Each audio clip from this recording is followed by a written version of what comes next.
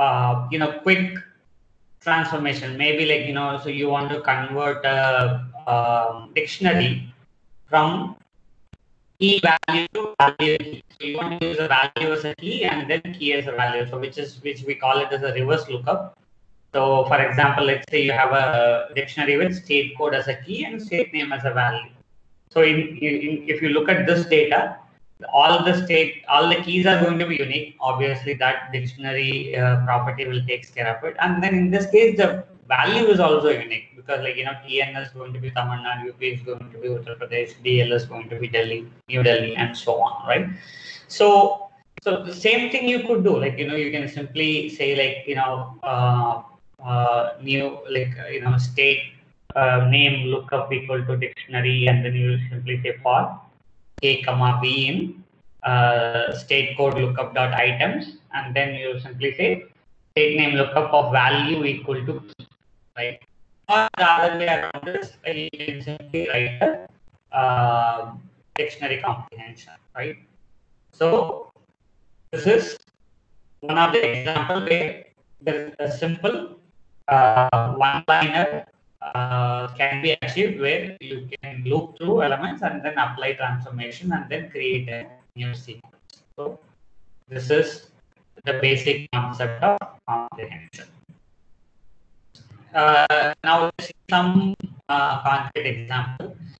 So let's say you have uh, a list of names that you are retrieving from uh, from a, from a data source. For example, uh, let's talk about how uh, I gathered the nomination, right, for this particular uh, training. So, you know, like we uh, initially were planning to do this uh, training for my uh, project, which is around like 20 people. And so then we um, invited people from outside the organization, but like we didn't think through, like, you know, we thought like probably another 10 or 15 might come what we uh, ended up is like we ended up in having around 285 to 90 nominations right? So we didn't tell people what format we need the data to some extent. So we got it in different formats so sometimes it's all uppercase lowercase mixed case and so on right? So maybe we want to clean up the data right? So let's say simple, somehow i got the names in the list okay? So i want to make sure that uh, it is all in proper uh, title case, right?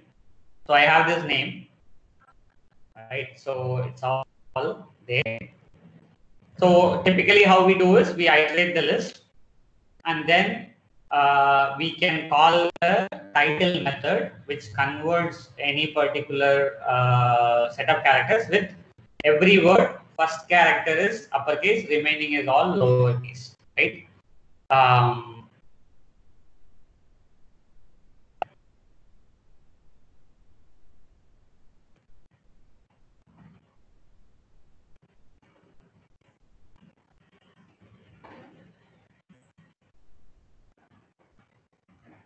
so whatever it is, right? So I simply run this.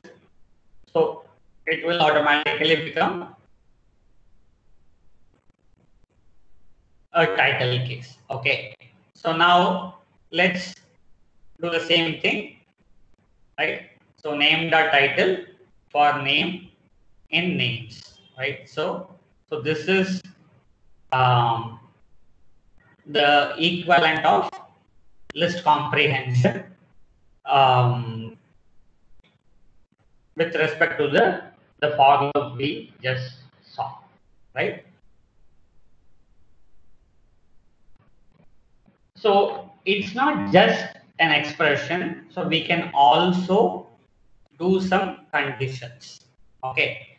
So now let's see this. Okay. So I have a number ranging from 0 to 19 so I have one comprehension expression n for n numbers if n mod 2 equal to 0 for n numbers if n mod not equal to 0. Okay, so we create two lists in two lines. We simply, there is no expression. We simply going to use the value But only thing is only if the value uh, pass certain conditions. Okay. So now uh, I have not written how this will look like. So how we will uh, we will be writing. So even equal to list right and then r equal to list if r n in numbers.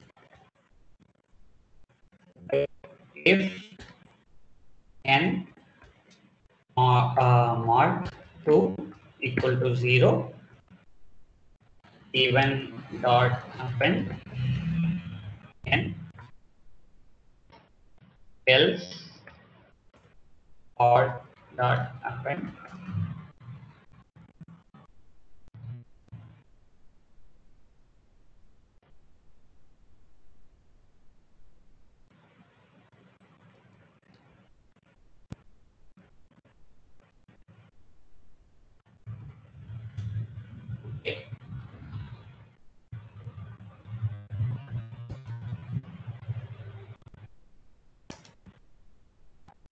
So it produces the same results, but if you look at it, so this is only two lines, okay.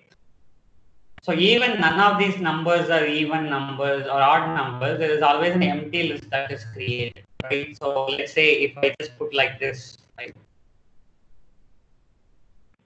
So now my even number, uh, so 0, 2, 4, 6, 8, like that, this output, the, the odd number is uh, not there simply.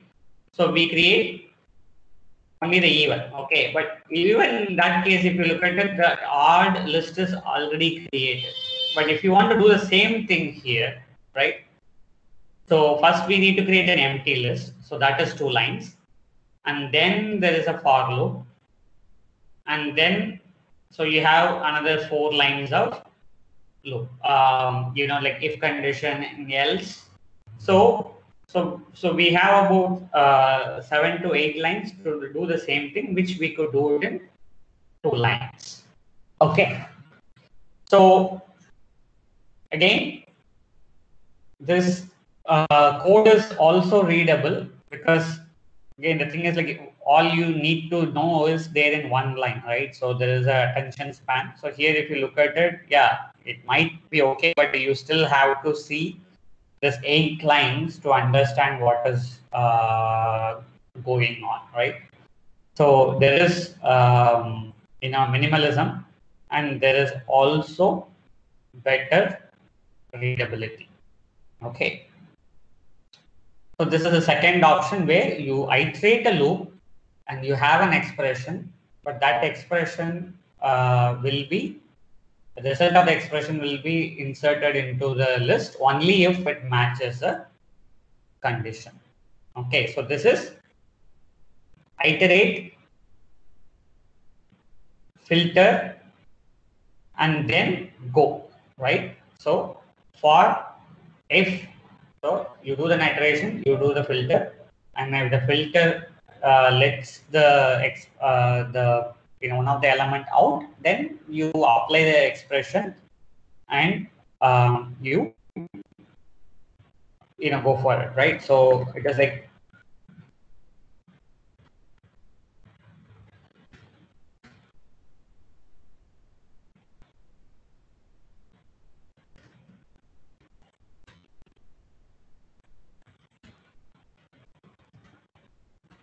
all of those things are happening in that one line. So now let's look at the so dictionary comprehension, right? So I have a number. So what I'm creating is basically I'm creating a, a dictionary of a number as a key and then the squares as a value. Okay, so so we know the dictionary one pair you will be coding with key colon value and we will be coding with braces.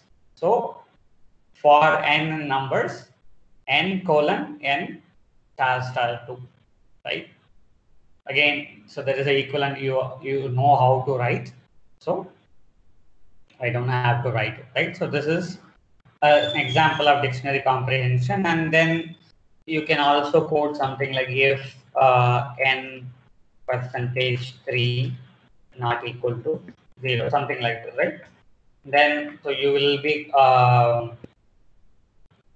right, like you, so, so we are skipping the multiples of uh, 3, right? So that is another thing that is always possible, right? So here we are generating random integers. Okay, so I'm just going to go for 10 to 99. So we are running it 20 times.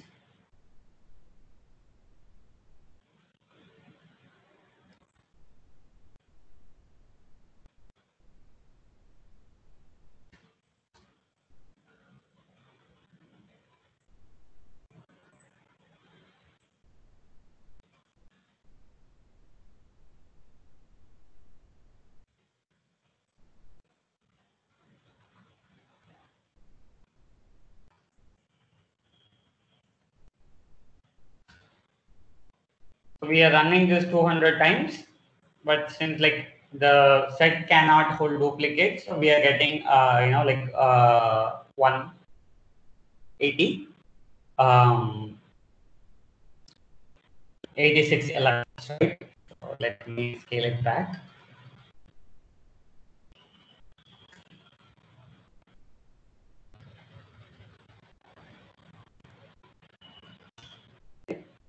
So that is set comprehension. So you have list comprehension, dictionary comprehension, set comprehension, and tuple comprehension. Okay, so tuple comprehension again. So we are creating a list of tuples.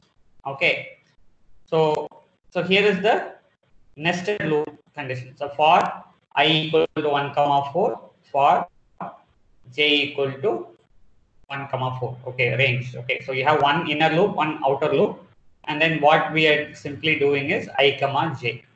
So we are creating a combination of 1 1 1 2 1 3 2 1 2 2 2 3 and so on.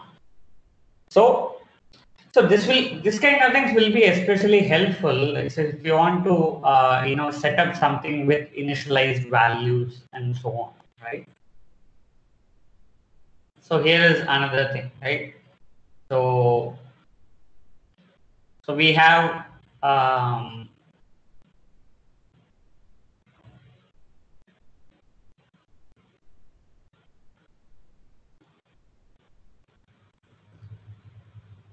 okay. So we have for range in uh, 10. So 0 to 9 we will be creating.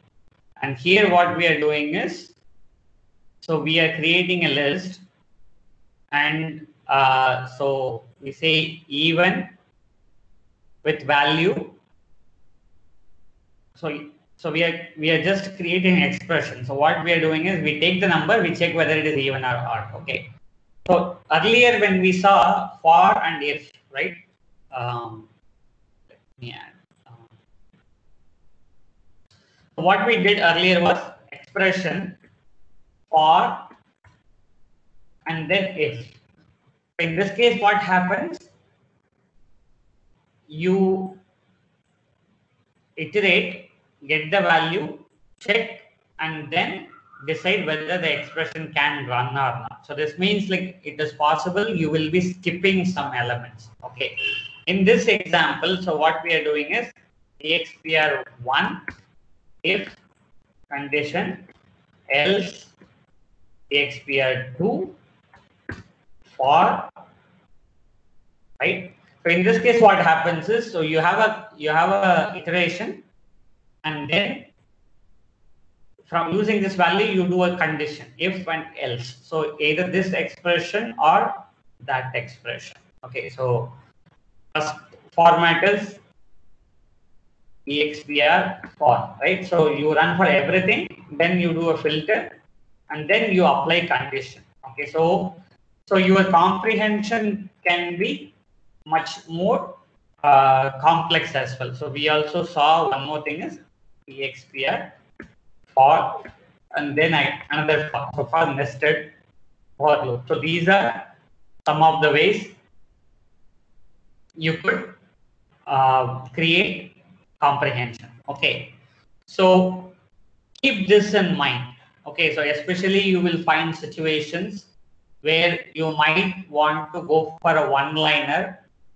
Um, you know, one of the classical example that, that I told you is uh, the dictionary uh, comprehension, right? So you convert the value into a key, right? So let's say, um, let me write that for you. So let's say state code, state code lookup. Okay. So this is a dictionary I have. So what I'm going to do is I'm just going to put a couple of um,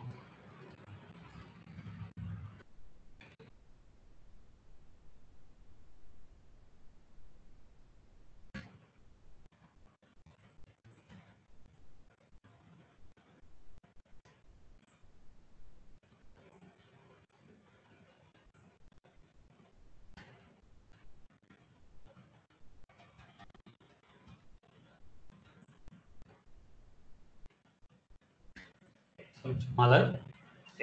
Okay. So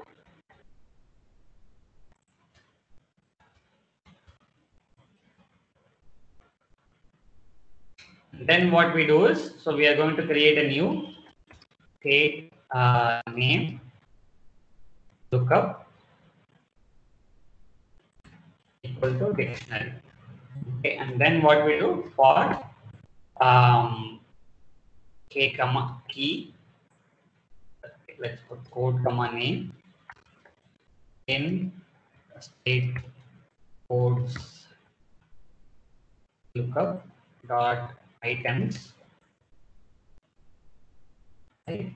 And then state uh, names. Lookup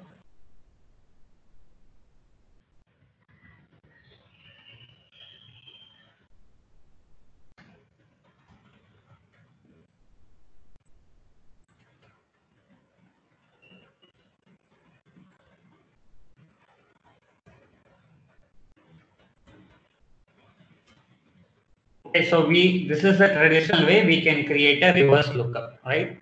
So this is called reverse lookup. Key value as key and key as value. Now how we can do the same thing? State names lookup equal to name code or you can put this way for code comma name in state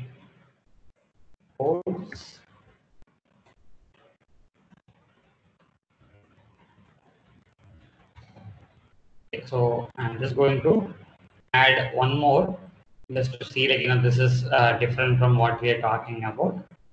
Um,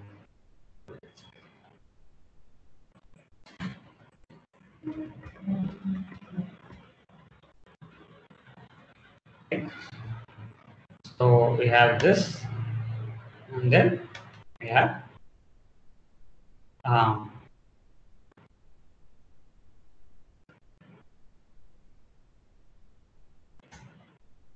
we have the same thing which is done in one single line. Okay.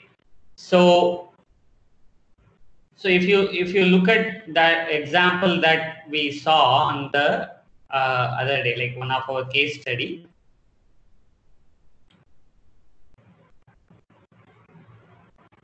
So the very first thing that we had is called the state code right? So this is the state code. And then at the very end, so we created a state code lookup, right? So we we have passed, we have created. So this is a list, and then we created a dictionary out of it. Okay, so something like this. So so instead of having all those four five lines, so we should be able to create it in a single line. Okay, so that is that is all about comprehension. So basically comprehension is a way uh, or like is it a syntax syntactical structure Python uh, provides uh, for you to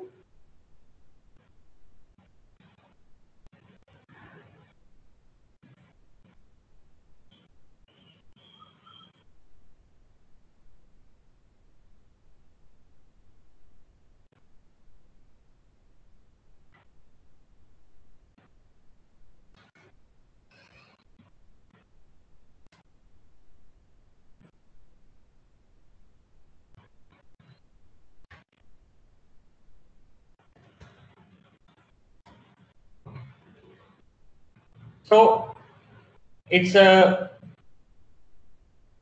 it's a syntactical structure. So that gives you um, a shorthand notation, uh, increased readability, and also using Python is something that is uh, sorry comprehension is something recommended.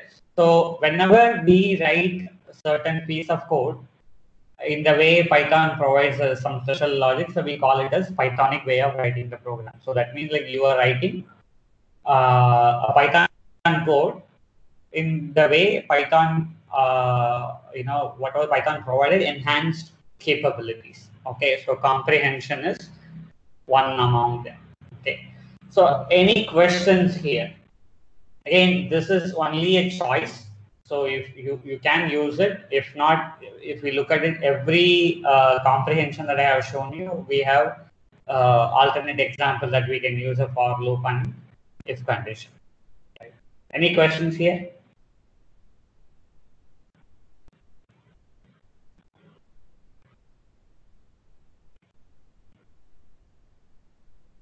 Okay. Uh, no question. We will get into the Next topic, which is some advanced features of uh, functions. Okay, so we already talked about function, right? So function is a reusable code we use with the def keyword, a function name, and there are parameters, and there is logic, and there is return values. Okay.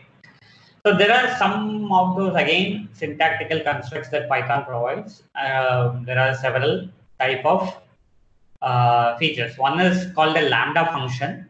Uh, Sometimes it is also called lambda expression, which is the way Python, uh, in Python, we can create anonymous function, a function without names. Okay. So lambda functions are easy uh, to create in the sense like if you have only one liner expression for example let's think about this the function called add that we wrote uh, during one of those um, demo right? So we say def add and then within parentheses we will say a comma b and then we say return a plus b right? So no condition checks nothing. It's just one expression so you can either say result equal to a plus b and return result, or you can simply say return a plus b. Okay. So, so if we take the def from it, the add from it, right? So, right. So def add a comma b, and then return a plus b. Okay, so let's say we are taking the def from it and then add from it, right? So we have a comma b colon. So there is also return a plus b. Okay, and then we take this one also, and then we add the lambda keyword. Okay. So whenever you have only one expression, that is something that you are you are intending to return to the caller. Okay. So instead of explicitly writing a function with the def function name, list of arguments, colon, and then the expression and then return value, you can simply write lambda x, uh, parameter 1 comma parameter 2 comma parameter 3 and then colon return whatever expression you want to give. Okay so the return is also not needed. So this both are same.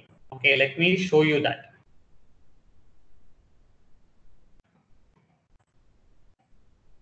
okay. Def add a comma b. A plus b. Okay then i have add lambda equal to lambda x comma y x plus y. Okay so i say add 100 comma 200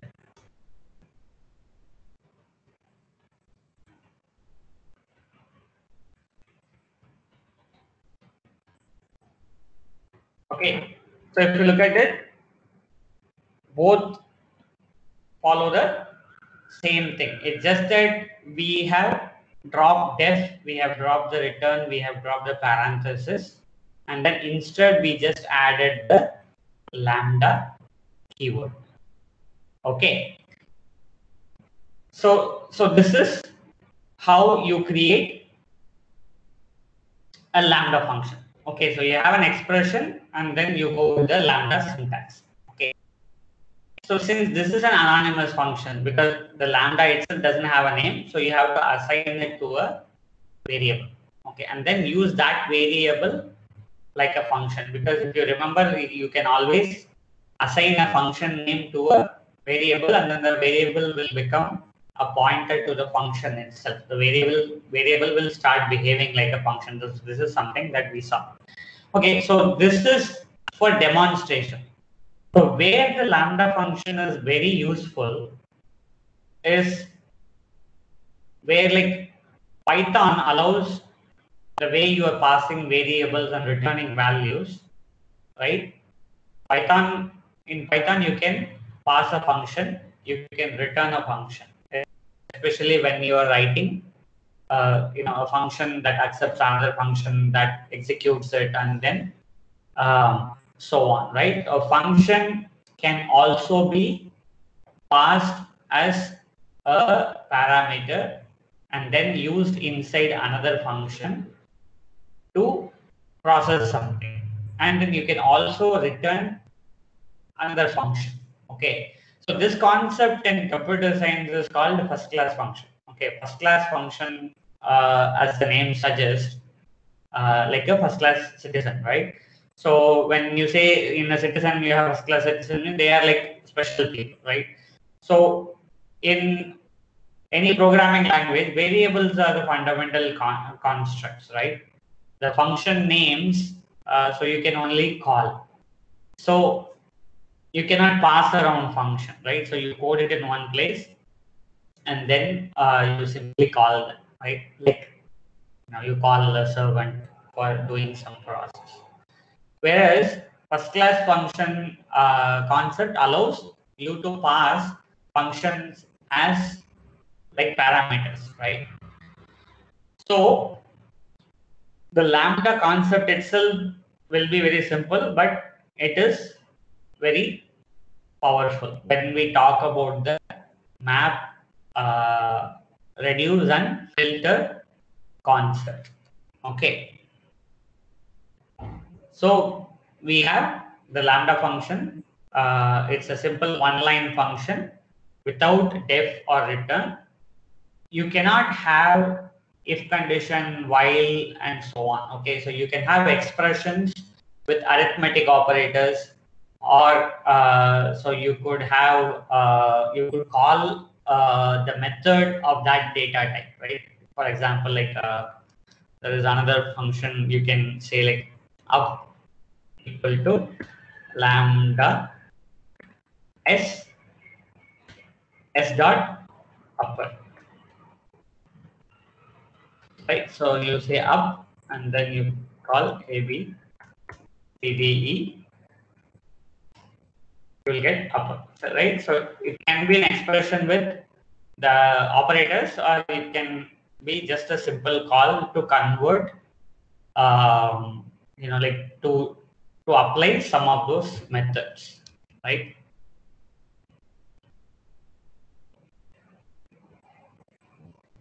So there are several things that you can do. So you can add two numbers you can do a square and then you can convert case. So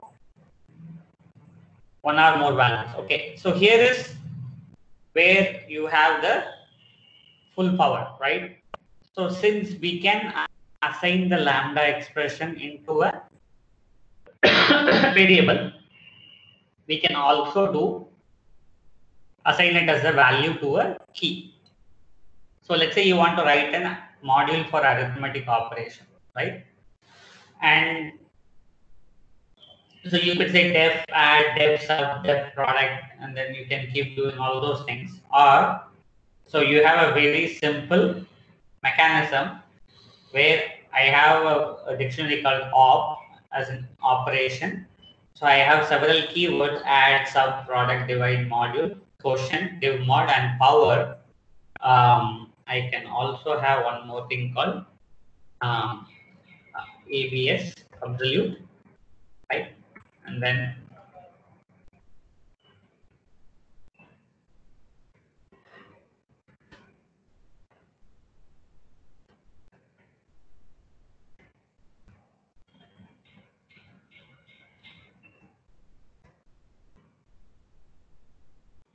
So, so whatever you wanted to create, right? So it almost makes your code very small. Okay. So, so this is the advantage of so lambda function, right? So you make it very small so that like, you know, it is very easy to pass around, right?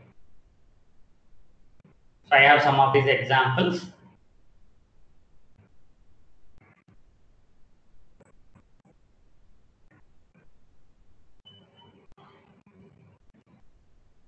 Okay. So whatever we saw um, as comprehension, so let's try to use some other concept called map. Okay. So now there is a map function. Okay, so map and reduce are one of the important concepts in big data where you process several uh, huge volume of data. And then um, you know like uh, you ma map certain certain expression or like you know you apply certain expression to every element and then you know you could reduce for example like uh, you know bring all the even numbers together or all the odd numbers together and stuff like that. Okay. So Python provides an inbuilt function called map, which accepts two arguments. One is a function and the other one is a sequence. Okay. So let's take a quick example, especially like, let's say you want to create uh, a CSV file, right? So let's say um, I have uh, uh, data data equal to list right and then data dot append. So let's say we have a uh, last name right? And then data dot append. First name. And then uh, we have data dot append. Uh, age okay so there is a age. So i have uh, the data is like a record right? So we are we are supposed to create a csv file. So how do we create how do we uh, you know join uh, a list to create uh, an a record? A string is you simply say comma dot join and then you give data. Okay so my record equal to it is giving me something like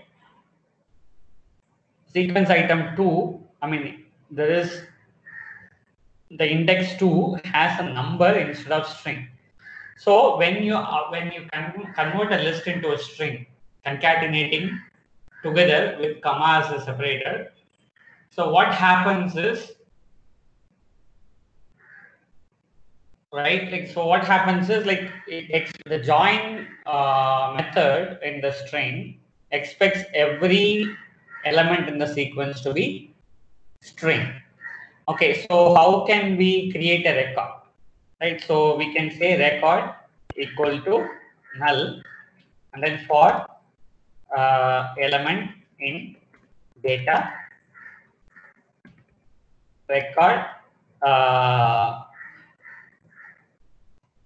equal to uh, f record. Okay f uh,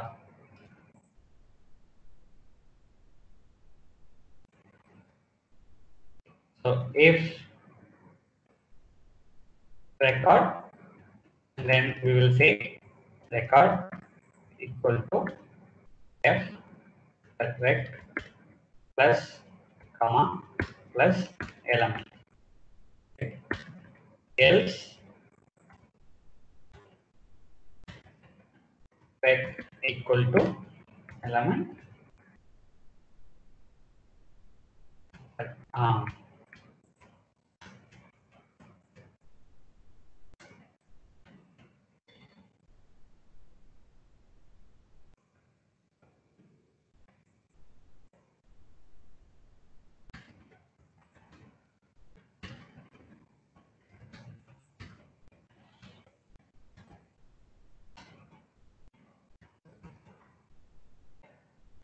right so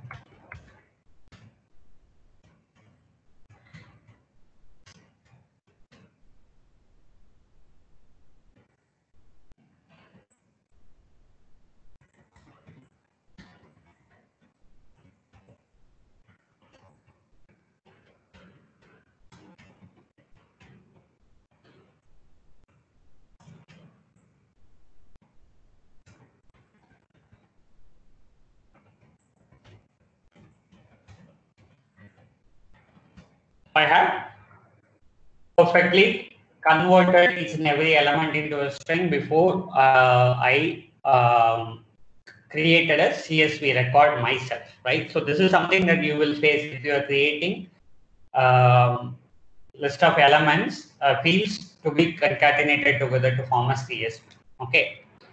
So now, so what exactly we did?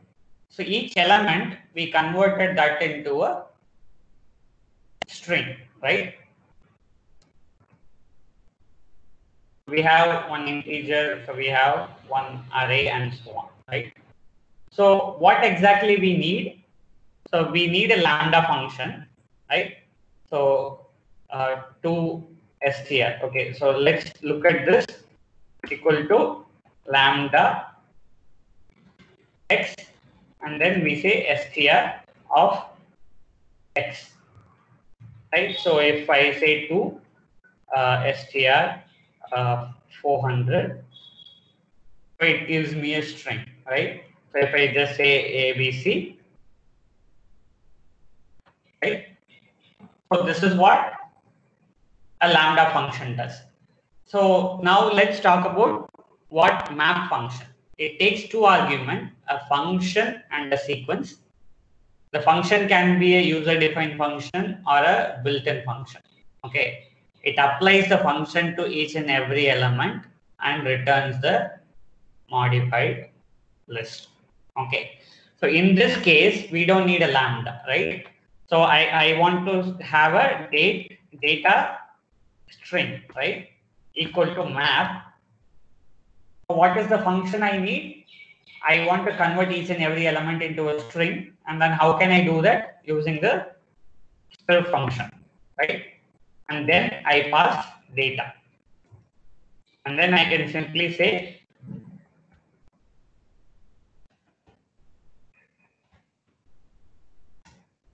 so so what we did with so many numbers of line and then custom logic we simply did it in one line. Okay. So here comes the uh, you know like the advantage, right? So first of all, the map reduce map function accepts one parameter which is a function and then another parameter which is a sequence. The first parameter is a function and the second parameter is a sequence. In that sense, like it can be a list, tuple, or whatever, right?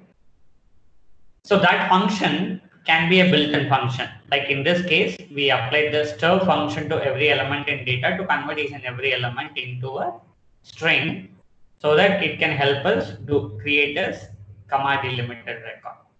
The second thing is we can create a anonymous function or which is a lambda function, right? And the third thing is you can write your own user defined function with very complicated logic and you can uh, you can come up with uh, you know like you know like you can apply that on a sequence. Okay so let's look at so we already saw the built-in function right? So now i have data equal to list range uh, 1 comma 11 right so we saw the comprehension. So now let's let's square this values right? So square is equal to map. What do i need? Lambda x x star star 2 right? So this is the function i am going to apply and then i am just going to say data. So that's my sequence. So if I just uh, look at squares, it is a map object. So obviously, if you want to look at the data, I can either iterate in a loop or I can convert that into a list. Okay. So this might sound very familiar to you. So we already saw you can write your own loop or we already saw we can write a comprehension. Now, this is another shortcut method where you take a function, you apply into each element and then create a new sequence, right? So that's the map function. Okay.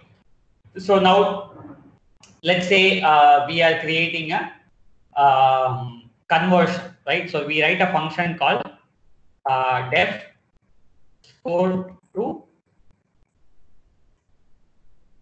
grade. Okay. So um, so we get the score and then we uh, simply say um, grade equal to so so we have a a b c d kind of grade okay so so by default so we have um, we have a null value and then we say if grade if score less than 99 and then we say um, grade equal to uh, n. Okay. Else? M equal to scores uh, percentage um,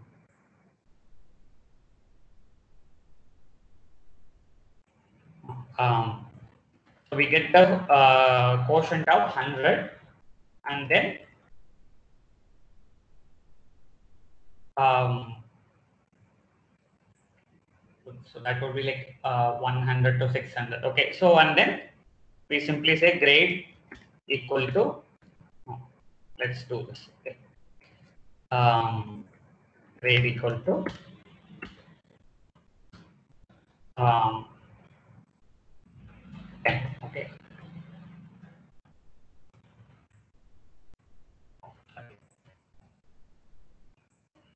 let me just do it a little bit. Um, go to grade.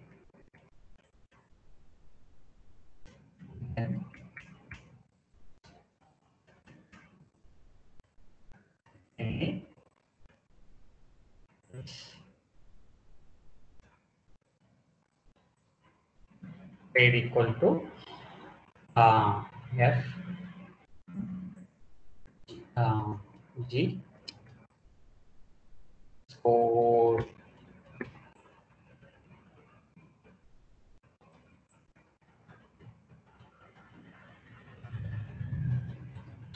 return grade. Okay, so if I call score to grade 100, I get G1, right? Uh, for uh, 12, so I get G4 and then 999. So assume that it is a very simple function, right? So now I have uh, some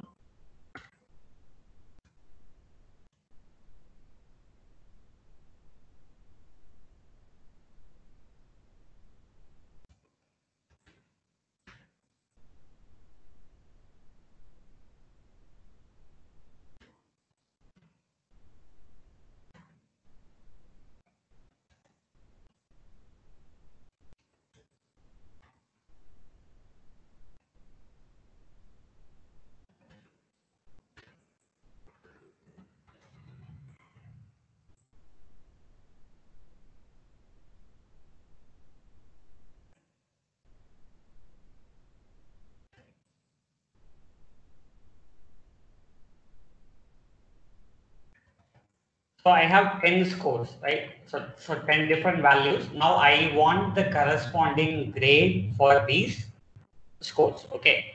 So I say grades equal to map. What is the function name?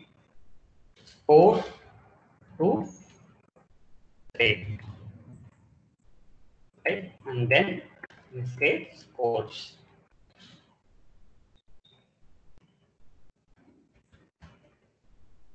uh, list X.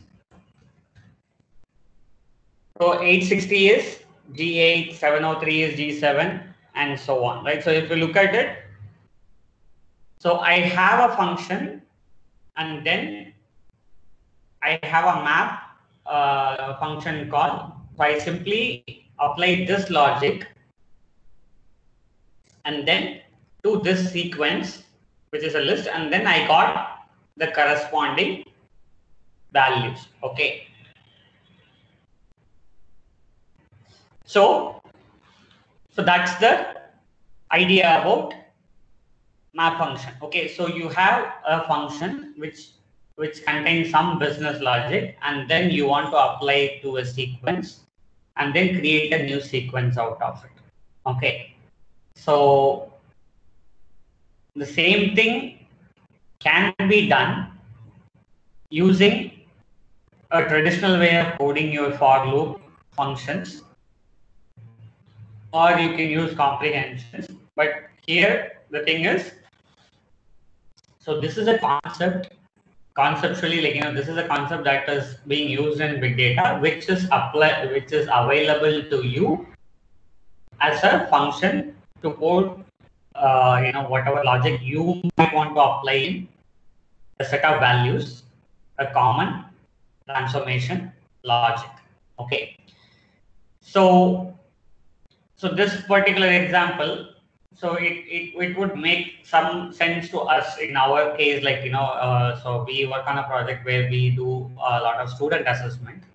So where uh, we will have a lookup table that says for this particular score this is the performance level right? So we call it as performance level.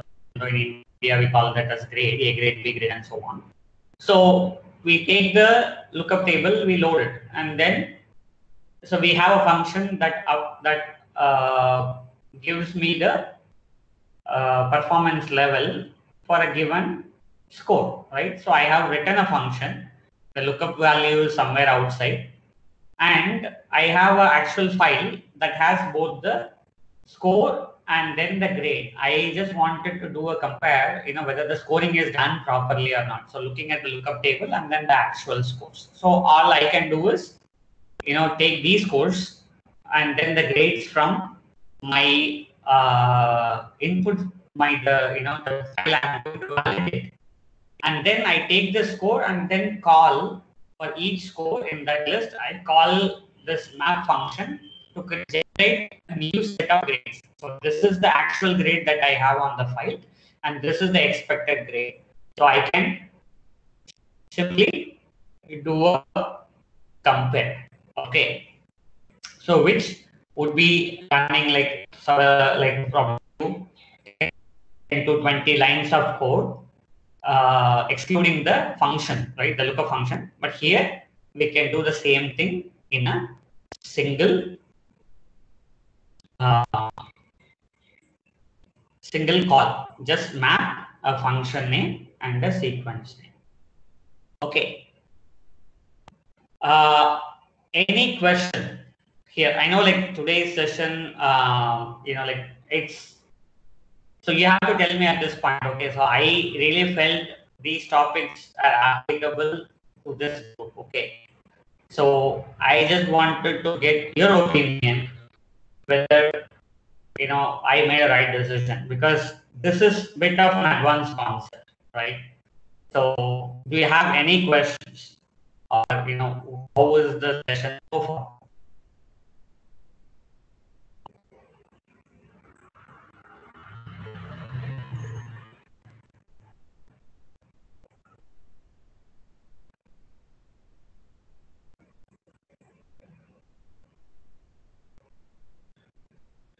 Am I still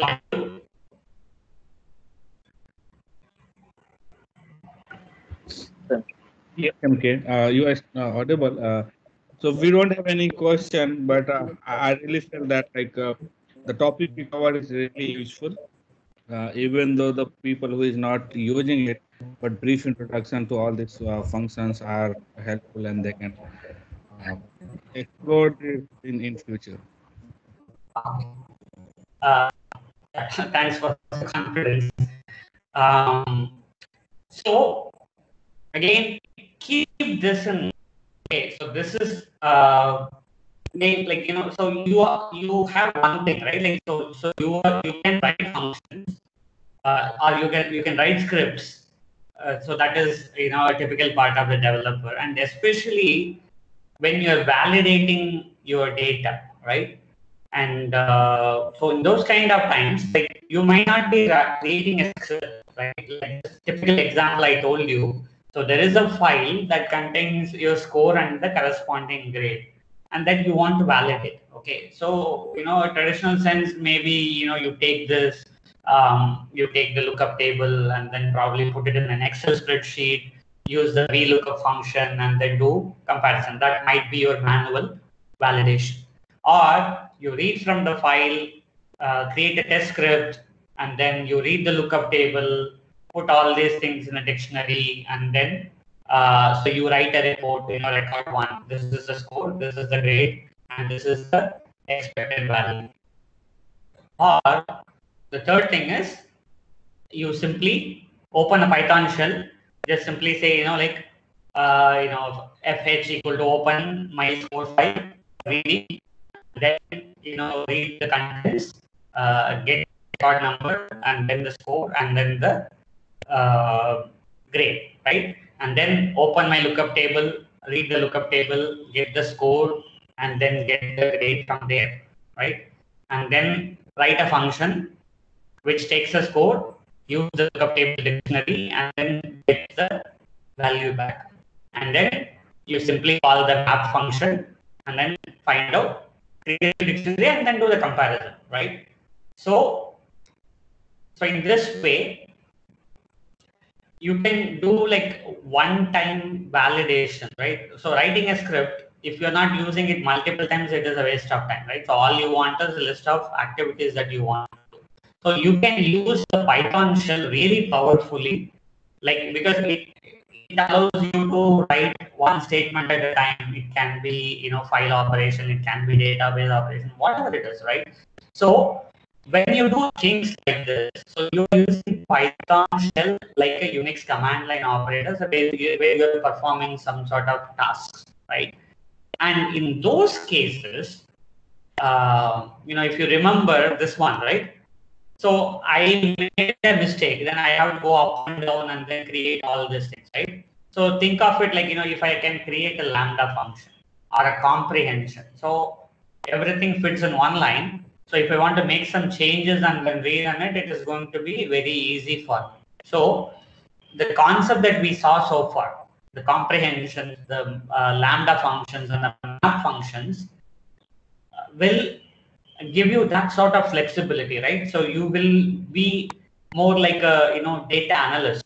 Like you know, if you if if you probably talk to people who do a lot of data analysis, you know, uh, you know people who who are doing like data modeling and so what they will do is they might you know bring up a SAS or or, or console they simply you know load the data and then create a data frame and then they, they'll simply fire a query like the way you do uh, so in case if you guys worked on databases as a developer so you will have you know like a, uh, an application that where you can connect to database. You simply run keep on running queries to do your validation okay?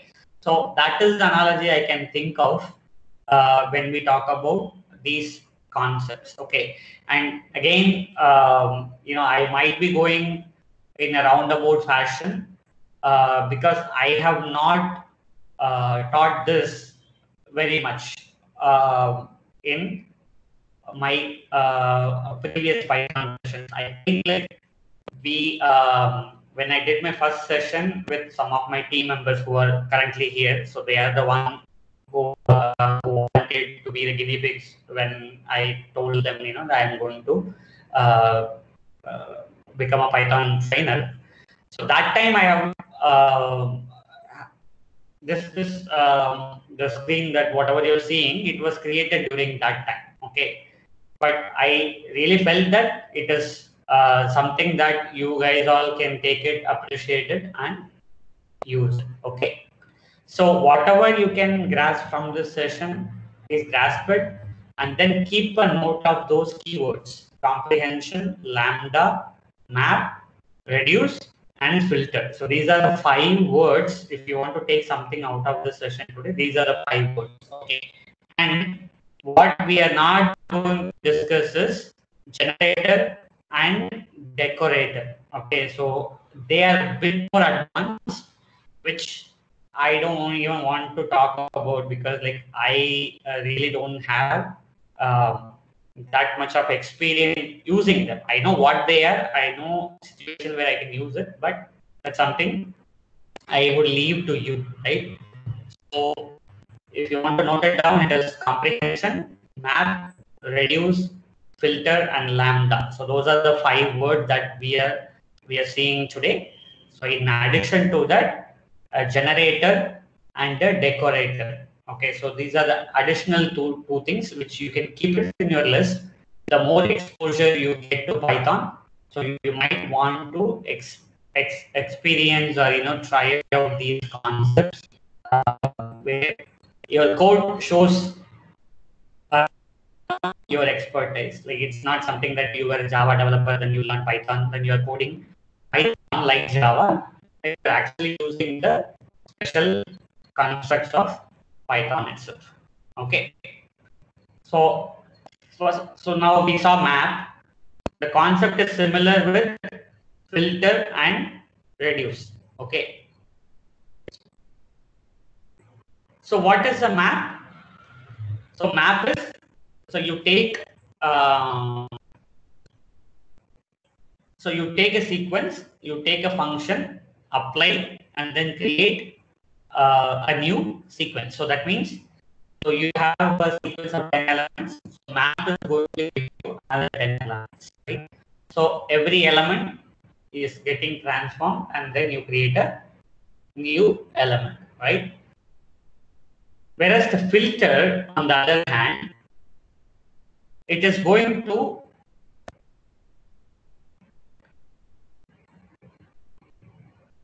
select certain values.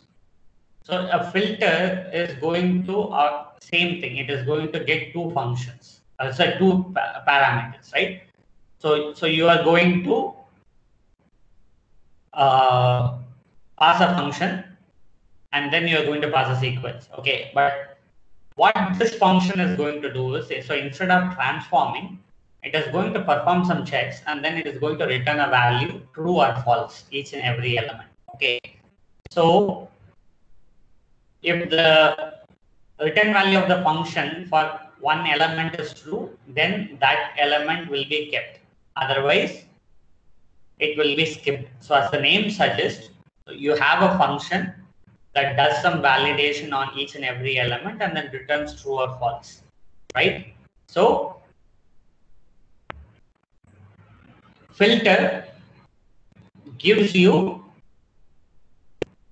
less number of elements. Okay, so most of the time, so it will give you less number of elements. It discards certain elements that doesn't fit our description. Uh, I mean, our consideration, whatever logic. For example, I have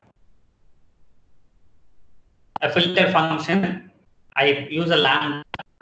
Lambda does this, argument, and then it checks whether that argument mod 2 is 0. So this expression will give you a true or false, right? So if it is an even number, it will give you true. If it is an odd number, it will give you false. So what this one does is, so it simply applies this function.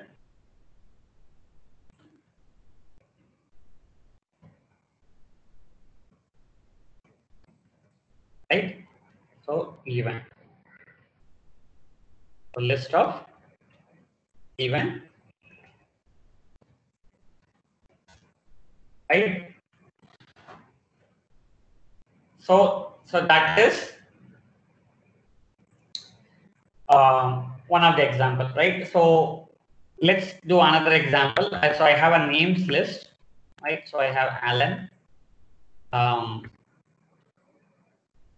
ben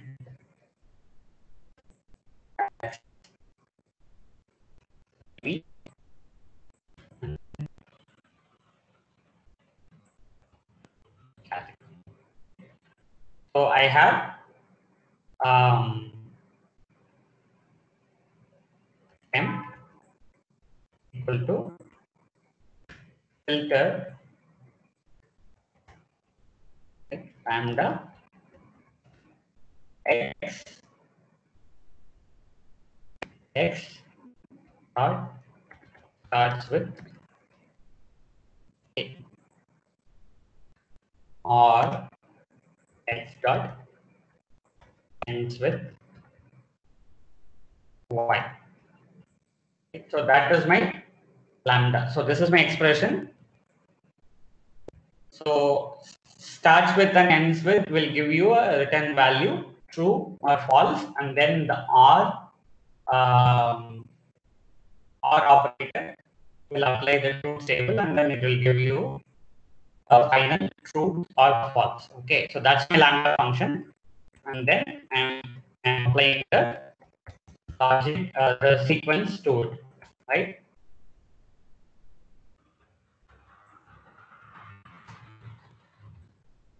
So Alan, Alex and Amy, they starts with A and then Kathy and Amy ends with Y, right? So this is a filtering function. So where Ben alone was discard. Okay.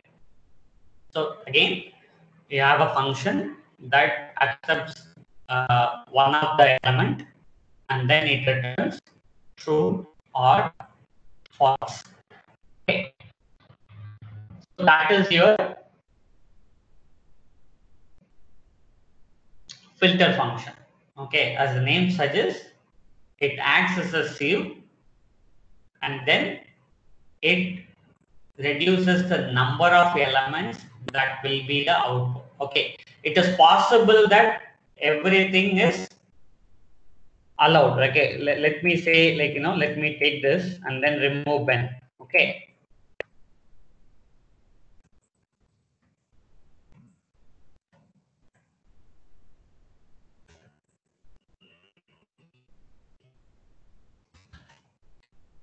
Us, so defined it is going to return anywhere between 0 to that many number of sequence originals. Okay, so it can skip everything or it can keep everything depends on your condition that you apply in the function. Okay, for example, like if I put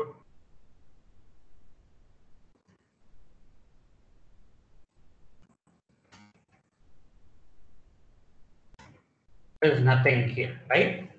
So that is the filter function. Okay, so the filter function, your uh, user defined lambda or built-in function as parameter one and your sequence as a second value. The special case in this uh, thing is whatever function you are uh, passing as a parameter to the filter, it has to return a true or false value. If the value is true for a given element, that element will be retained in the output. Otherwise, it will be skipped.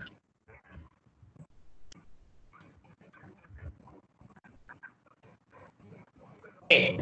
And then finally, we are going to talk about the reduce function.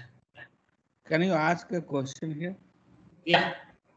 So uh, within a filter, uh, we are using a function which return to true and false. Right. If we use this function inside the map, uh, will that uh, return the data? it will simply return the truth and false only, right? Okay.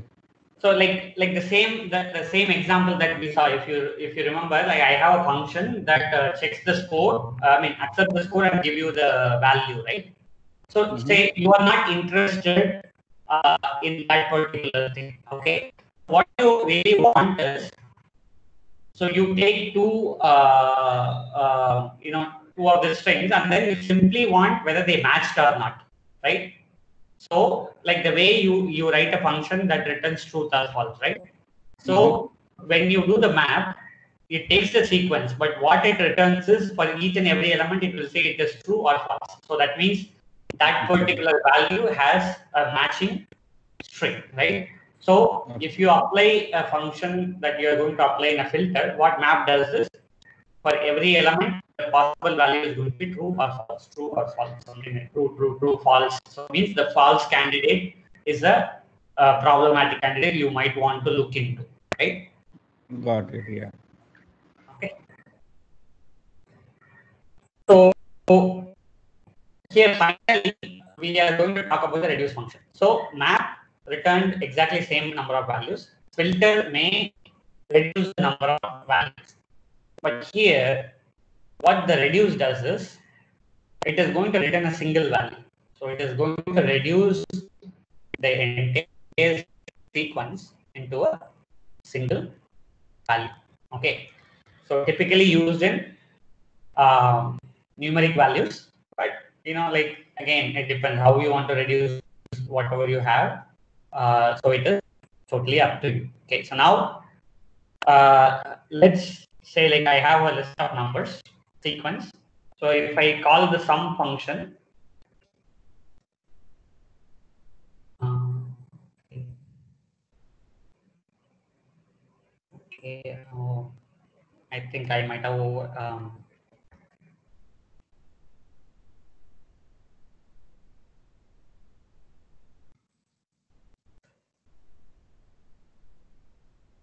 okay. So I think I might have overridden the sum with uh, my own value. So that's the reason it is not working. So let's say I have total equal to zero for uh, n sums.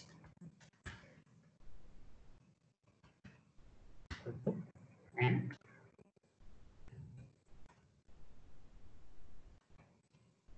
so nums is 1 to 99. So the value is 4950, right?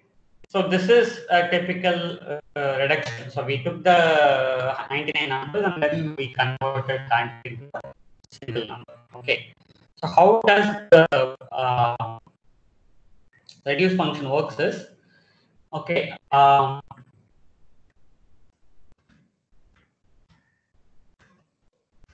So reduce used to be part of the core built-in functions, but for some reason they moved the reduce functionality into an inbuilt module called func tools or function tools. Okay.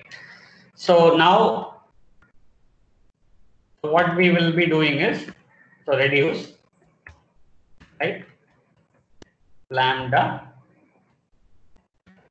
x comma y return cannot return x plus y. So this is my function, and then I am just going to call the nums, right? So I think this is going to be it is return. It's not an object; it is returning the value. Okay. So what reduce does is it takes first two elements from the sequence and then passes it, and then the function returns one value.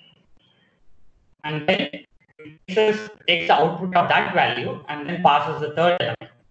Then it returns one value and then fourth element. So every time, the very first time it takes the two element and then the subsequent time the result of the previous call and then one element from the current system, right? So this is what happening. Okay, so now let me do one more thing. So names, right? So I think I have names. Right. So let's do names.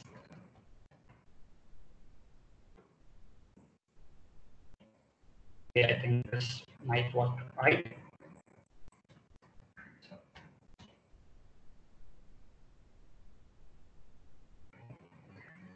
Then